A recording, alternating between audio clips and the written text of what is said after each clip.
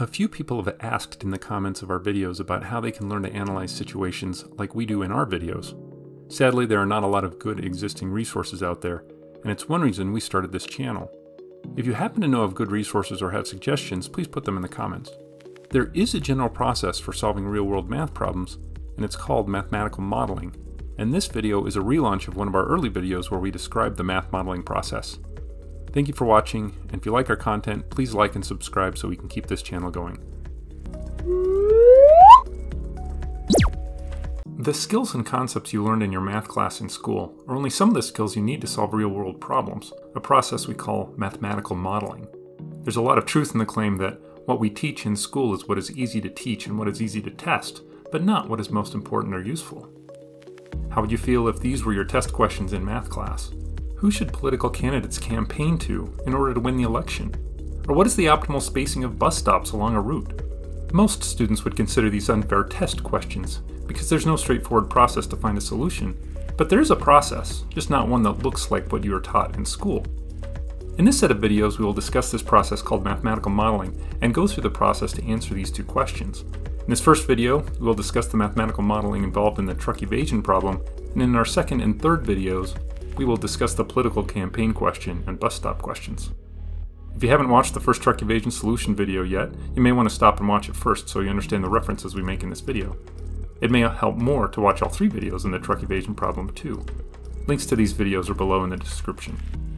On the surface, these two questions about campaigns and bus stops don't seem too compelling, but it is amazing how such a simple mathematical model can predict behavior of politicians, and the distance between bus stops could greatly affect how successful the route is.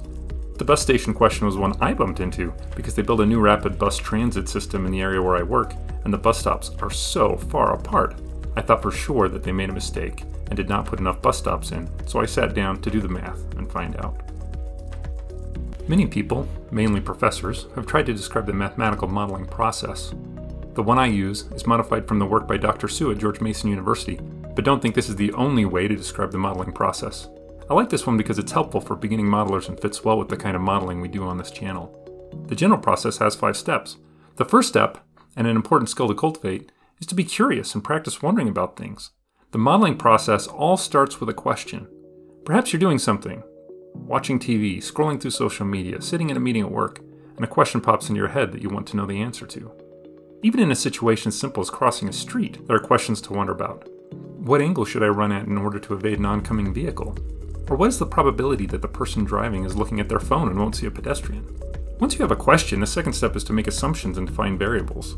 The real world is often too messy to model exactly, but by making assumptions, we can focus on the most important aspects of the problem. We might make some strong assumptions at the beginning, like assuming there's no air resistance or approximating a complex shape with a sphere. That's why there are so many math jokes about assuming a spherical cow. Making simplifying assumptions allows us to start with a simple model, then change the assumptions later if needed.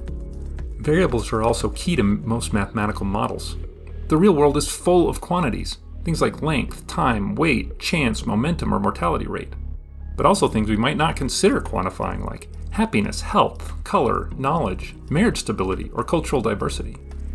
Models connect these different quantities to help make sense of the phenomenon at hand and use variables to represent these quantities in the situation. Consider the problem we addressed in a previous video. At what angle should a person run to have the best chance of evading an oncoming vehicle? We started diagramming the situation and making assumptions about distances and speeds. We also had a few variables, the outcome variable was a time variable representing the time between the pedestrian getting to the curb and the truck getting to the pedestrian. Instead of starting with the angle the person should run, we defined a variable as the distance down the curb, then moved to focus on the angle later. The third step of mathematical modeling is to build a model. This is where school math helps in the mathematical modeling process. We translate our assumptions into mathematical expressions or meanings, and connect our variables with mathematical operations to build formulas or functions. We might make an assumption that the relationship between two quantities is linear or quadratic or exponential, and use those assumptions to build the model. Other times it requires problem solving to develop the model based on relationships in the situation, like analyzing relationships in a geometric drawing. In the truck evasion problem, we used school math ideas, like the equation rate times time equals distance, and the Pythagorean theorem, to build our model and calculate our outcome. We then used a protractor to check our answer, and in later videos, we used trig functions to build a more general model by representing the distances and speeds with variables. The fourth step in the process is to analyze or solve the model. then interpret the answer. Once we have a model, we can use it to answer our questions and to understand the situations.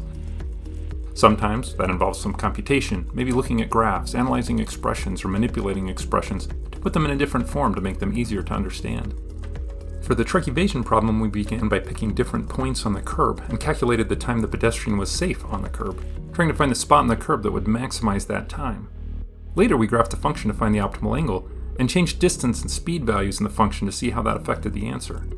We even used calculus to derive a formula for the optimal angle given the speeds of the truck and the pedestrian, and then analyzed the expression to see why the initial distance between the pedestrian and the truck didn't affect the optimal angle.